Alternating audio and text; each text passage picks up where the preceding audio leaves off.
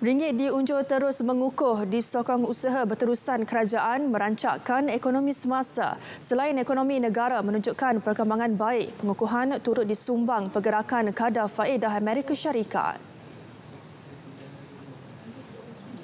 So kalau kita tengok macam ni kan, yang paling penting ialah kita kena merancakkan ekonomi. Lagi banyak ekonomi merancak, lagi banyak investor masuk ke dalam negara ini, lebih uh, banyak uh, demand untuk ringgit.